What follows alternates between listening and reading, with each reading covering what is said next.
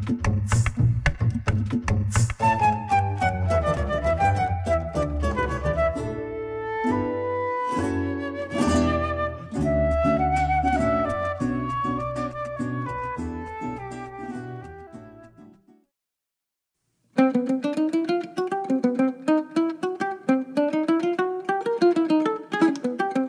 La tienda comunal del papel Manuela Sáenz, primera en el estado Mérida, ya abrió sus puertas para todo el público.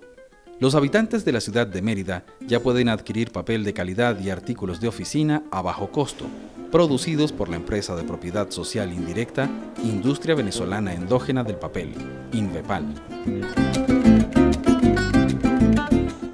Bueno, basada principalmente para beneficiar al pueblo merideño, y dar cara a la situación que se está viviendo con respecto al papel y a muchas cosas, ¿no? la especulación y los precios altos. La importancia fundamental es que los venezolanos y los merideños en este caso se den cuenta de lo que está pasando, que sí estamos sufriendo un ataque económico brutal de frente, de verdad que con estos precios que ustedes ven acá, este, todavía nosotros obtenemos una ganancia la resma de papel a 80 bolívares, nosotros tenemos una ganancia de esa mercancía del 20%. Entonces ahí uno se da cuenta de cuántas ganancias tiene esa persona que te vende una resma de papel en 300 bolívares, 350. Ya a partir de hoy, por lo menos en las redes se ha difundido que, que mantenga la calma, que esto va a ser una tienda fija por bastante tiempo. Esto no es una, una, una tienda que va a estar temporalmente, ¿no? sino que aquí pueden venir a cualquier hora, bueno, de 8 a 12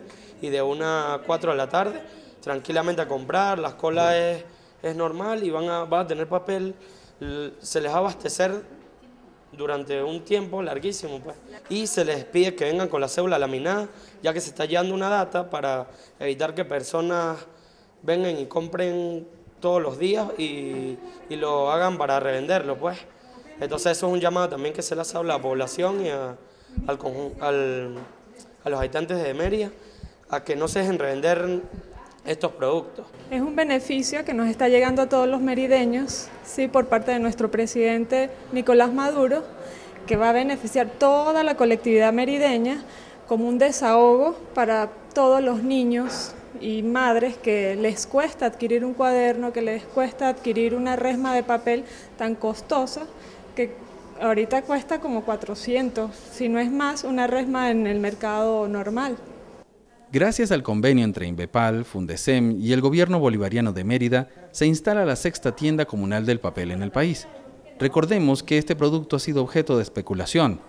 La activación de esta tienda es parte de una de las medidas económicas para derrotar el sabotaje económico que aplica la derecha venezolana contra nuestro pueblo.